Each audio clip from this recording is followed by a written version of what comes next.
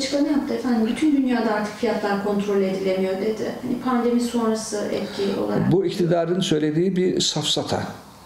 Bütün dünyada fiyatlar artıyor. En yüksek Amerika'da 30 yıllık tarih rekor kırıldı. Kaç oldu biliyor musunuz?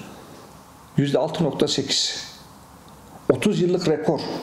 6.8 bütün dünyada dediği bu. Konuşuyorlar ancak. Yani e, sadece e, toplumu gerçekleri gizlemek, toplumu aldatmak, toplumun aklıyla dalga geçmek için her türlü yanlış bilgiyi sunuyorlar. Dünyada enflasyon kaçmış? En yüksek Amerika'da 6.8, 30 yıllık 6.8. Sende kaç? 21.3, üfen %54. Gerçek enflasyonu senin bugün tü- tüfede %50'nin altında değil.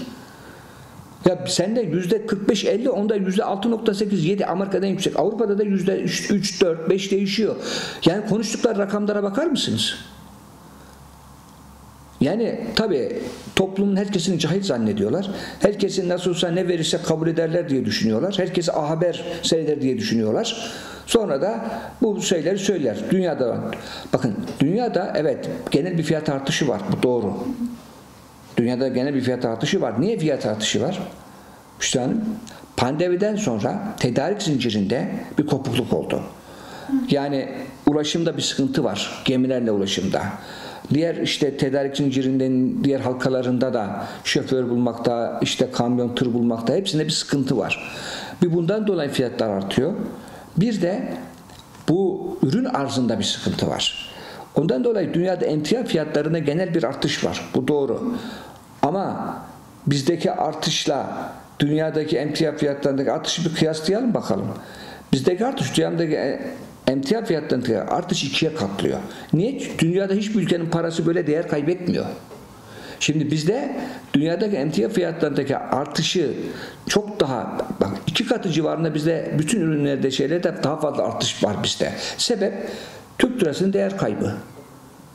Bundan dolayı eğer bizde dolar artıyorsa Türkiye'de yineden ipliğe her şeyin fiyatı artar. Bu Türkiye'de bir şeydir. Ee, artık alışılmış bir durumdur.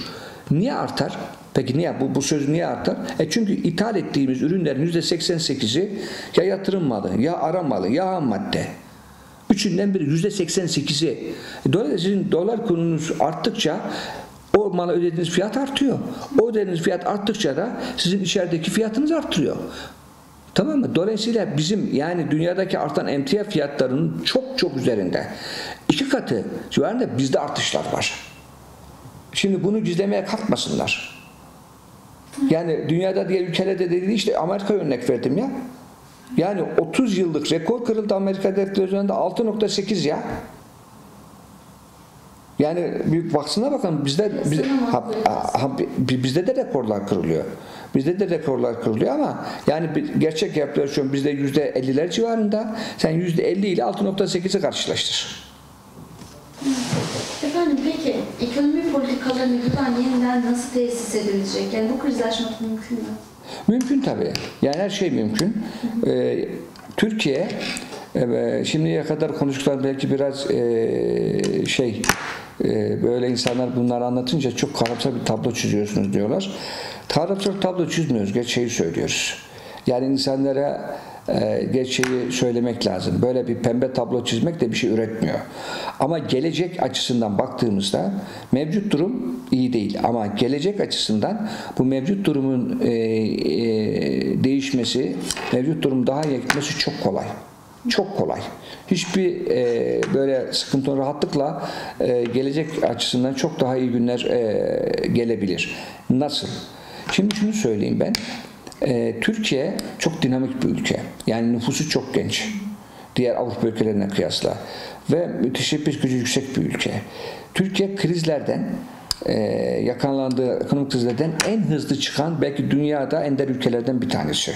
Yani Türkiye'de bir krize yakalanırsınız, milli gelir o yıl düşer. Ertesi yıl milli geliriniz tekrar pozitif olur, artar. Yani Türkiye krizlerden bir yıl, bir buçuk yıl içinde çıkan bir ülke. Bu bizim özelliğimiz bu ülkenin. Dolayısıyla e, bu anlamda ülke olarak çabuk toparlanıyoruz. Bu bizim büyük bir avantajımız. E, güçlü yönümüz. Şimdi diğer yön taraftan ne yapmak gerekir, nasıl çıkmak gerekir? Ben size şunu söyleyeyim. bu iktidar erken seçim kararı alsın, ekonomide her şey kendinden düzelmeye başlayacak. Bu iktidarı gittiği anda, gideceğinin anlaşıldığı anda insanlar böyle e, şey olarak, ruhsal olarak insanlar çok kendilerini iyi hissedecekler. Ve insanlar daha geleceğe ümitle bakacaklar. Bekleyişleri daha iyi olacak. Ben hep örneği veririm. Ekran seçim alanın dolar kuru daha aşağı gelecek. Kendi hiçbir şey yapmaya gerek yok. Bu, bunların son işte geçen hafta pazartesi açıkladıkları kur koruma mevduat gibi garip bir uygulama falan yapmalarına da gerek yok. Erken seçim açıklasalardı bunlar olurdu zaten. Şimdi çünkü sorunların bizatihi kendisi iktidar ve iktidarın zihniyeti. Bakın Türkiye'de iki tane temel sorun var. Büyük temel sorun. Üzerinde e, bu sorunları çözmemiz gereken iki temel sorun var. Büyük sorun. Biri sistem. Yani bu Cumhurbaşkanı hükümet sistemi dedikleri tek adam rejimi. İkincisi de bu iktidarın zihniyeti. iktidarın yönetme şekli. Bu ikisi sorun. Bu ikisinden kurtulduğumuz zaman da bu ülkede her şey inanılmayacak derecede çok kısa bir sürede iyileşecektir. Bundan zerre kadar bir tereddütüm yok benim. Dolayısıyla biz önce mesela muhalefet partileri olarak güçlerimiz parlamenter sistem üzerine çalışıyoruz.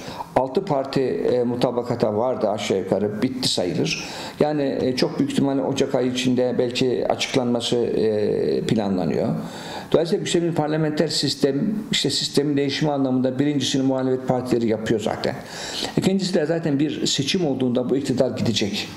Erken seçim o yüzden çok istiyoruz. Çünkü verdiği tahribat daha fazla olmasın. Bir an önce gitsin ki tahribat da az olsun. Ki e, bu insanlar bu toplumda bu sıkıntılardan e, bir an önce kurtulsunlar. Şimdi bu iktidar gittiğinde bu işlerin düzelmesi için ön koşul şudur. Bir ekonomi şeyinde. Bir kere istikrar ve öngörülebilirlik ve güven. Bak istikrar, öngörülebilirlik ve güven. Bu üçünü sağladığınız anda her şey düzelmeye başlar. Bu bekleyişleri bir anda iyileştirir. Mesela önünü göremeyen, mesela siz araba sürüyorsunuz. Şöyle çok basit bir örnek vereyim. Sis var. Yani araba süremiyorsunuz. Yani 5 metreyi görmüyorsunuz. Ne yaparsınız? Yani o 5 ile 10'la sürersiniz, 20 ile sürersiniz değil mi? Öngörülebildiğiniz görmüyorsunuz ilerisini. İleride ne var? Dağ mı, tepe mi var, yol kıvrılıyor mu, araba mı var görmüyorsunuz yani. Bakın şimdi öngörülebilirlik bir ekonomi açısından çok önemlidir. Önünü gören, mesela yönünüz açık siz yok 80-100 gidersiniz değil mi? Görülebilir. Bu, bu, bu böyle ekonomide de böyledir. Yani eğer önünüz görebiliyorsanız siz yatırım yaparsınız. Tamam mı? Yeni istihdam oluşturursunuz. Üretiminizi artırırsınız. Tamam mı? Herkes işine bakar. Herkes mutlu olur. O mutluluk biraz daha üretim, biraz daha yatırım gerektirir. Herkes geleceğin daha iyi olacağını düşünür ve ona göre hareket eder. Dolayısıyla bu istikrar ve öngörülebilirlik çok önemlidir. Bak istikrar örnek vereyim. Mesela dolar kurunun aslında 18, 15, 11 lira olmasından daha ziyade bak bu da önemlidir.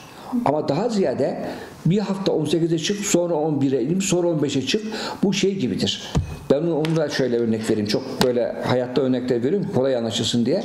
Tansiyon gibidir bu. Bir anda tansiyonunuz 18-20'ye çıkar, bir anda 11'ler 12'lere çıkarsa siz bir müddet sonra ölürsünüz. Kaldıramazsınız onu. Yani ama tansiyonunuz hep 15'te ise vücut ona alışmıştır ve ona göre kendi düzenini kurar vücut değil mi? Şimdi istikrar da böyledir. Yani bu kurun ve fiyatların özellikle kurun yüksekliği önemlidir ama ondan daha önemlisi bunun oynaklığıdır. Çok sık oynayan bir şey e, fiyatlar ve kur size istikrarsızlık göstergesidir ve bu durumda iş yapamazsınız. Bakın şu anda kur indi e, ve bana haberler geliyor. Birçok firma şeye kapatmaya başlamış fabrikasını.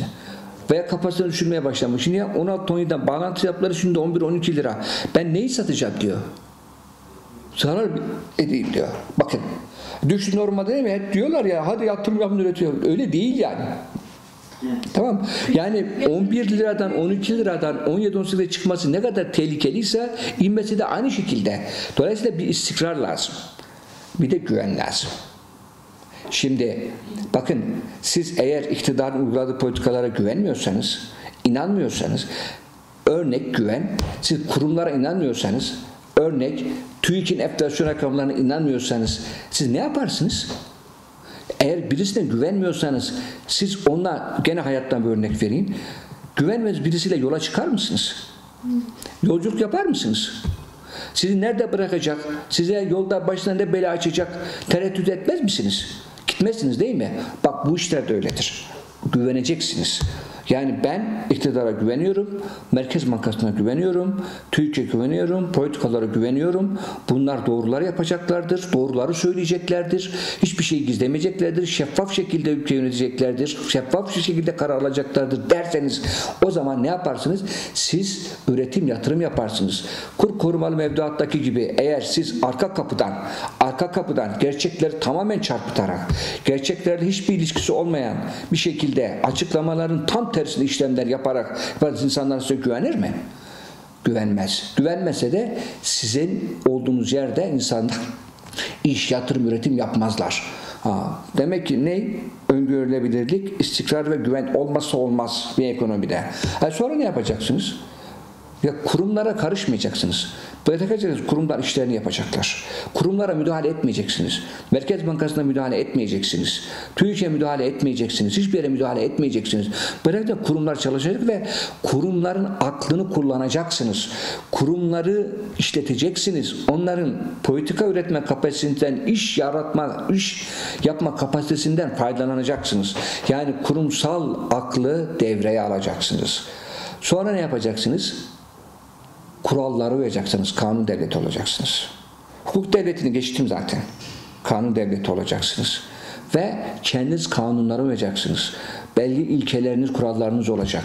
Liyakat sistemine uyacaksınız. Sadakat değil liyakat diyeceksiniz. Kurumları liyakatlı insanlarla yöneteceksiniz. Bakın bunların hepsini bir iktidar değişikliğinde bu söylediklerin hepsini iktidar değişikliğinde kendiliğinden olacak.